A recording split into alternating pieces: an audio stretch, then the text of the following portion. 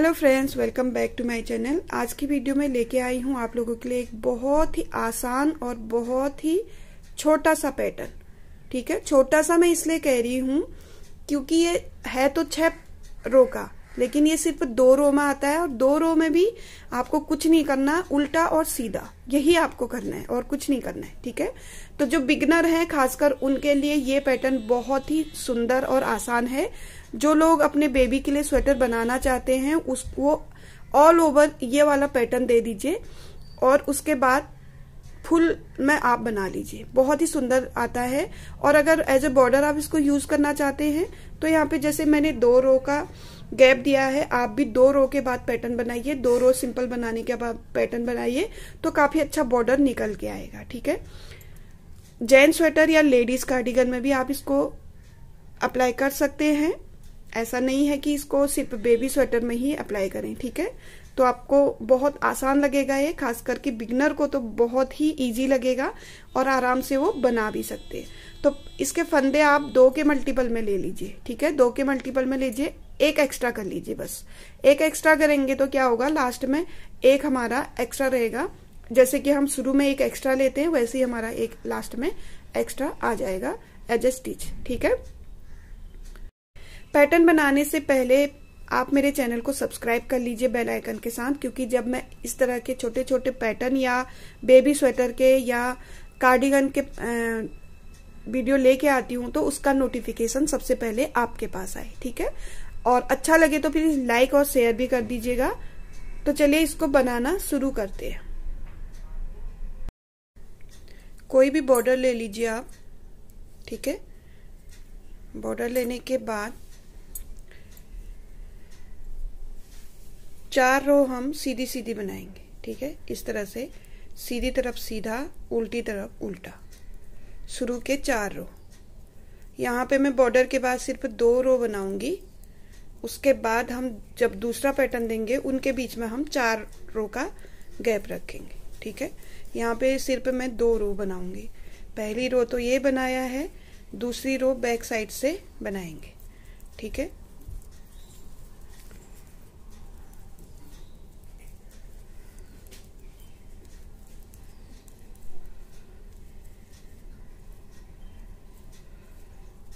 देखिए। फ़र्स्ट रो कंप्लीट हो गई। बॉर्डर के बाद की फ़र्स्ट रो कंप्लीट कर लेंगे। सेकंड रो हम इस तरह से पर्ल में बनाएँगे। उल्टा। सीधी तरफ़ सीधा, उल्टी तरफ़ उल्टा। ठीक है? आप चाहें तो इसे चार रो बना लीजिए। लेकिन जब फ़र्स्ट में पैटर्न देंगे तो दो रो के बाद ही दे देंगे। क्योंकि ज़्यादा गैप लगता है। तो ये रो कंप्लीट करके आते फ्रंट रो में। ठीक है? ये देखिए। फ्रंट रो में आ गए हम। अब क्या करना है? पहला फंदा स्लिप कर लेंगे, धागा आगे करेंगे, एक फंदा उल्टा कर लेंगे, ठीक है? एक फंदा स्लिप करेंगे, एक फंदा उल्टा। एक फंदा स्लिप एक फंदा उल्टा। इस तरह से हम पूरी एक रो कंप्लीट करेंगे। बहुत ही इजी है, खासकर कि ये पैटर्न मैं बिगनर के लिए बना रही हूँ। जिनको नहीं आता है समझ में। ज़्यादा जिनको पैटर्न समझ में नहीं आते हैं, उनके लिए ये बहुत अच्छा पैटर्न है, ठीक है?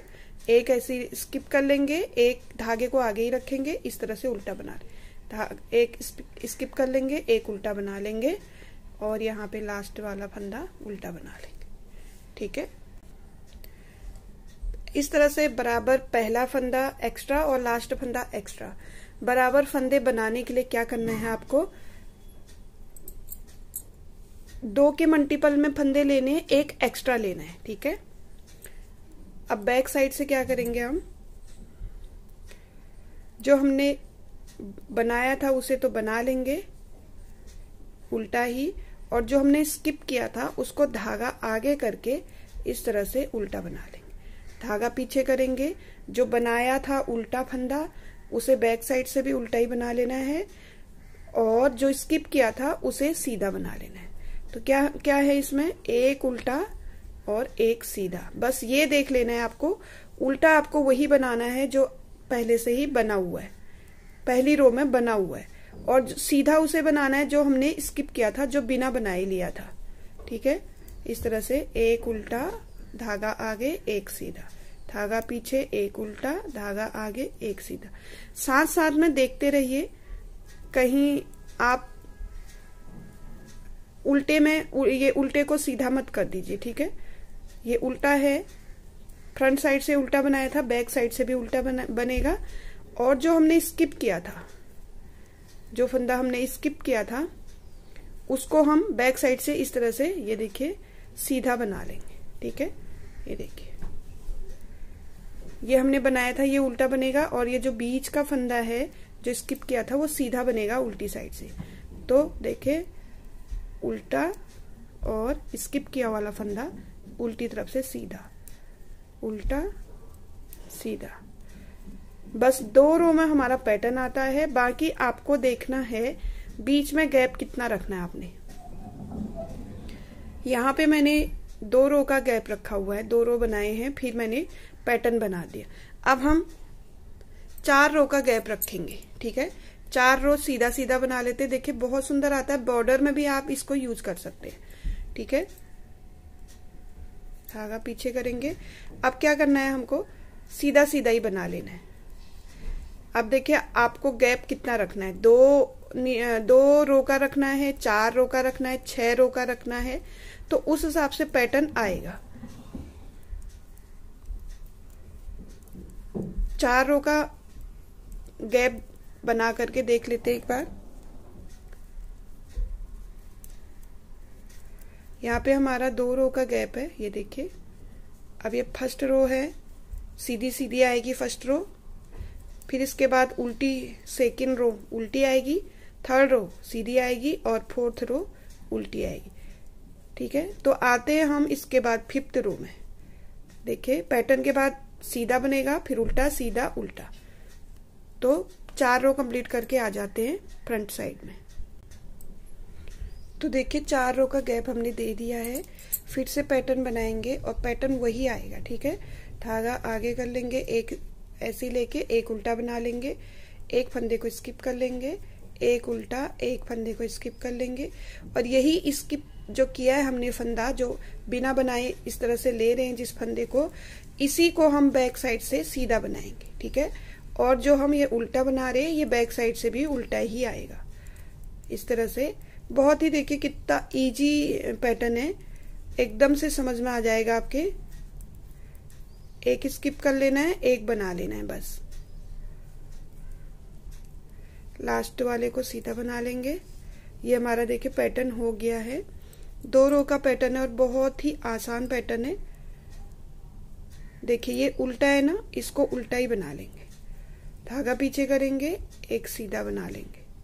धागा आगे करेंगे, जो बनाया है उसको उल्टा बना लेंगे, जो नहीं बनाया था उसको सीधा बना लेंगे। उल्टा और सीधा।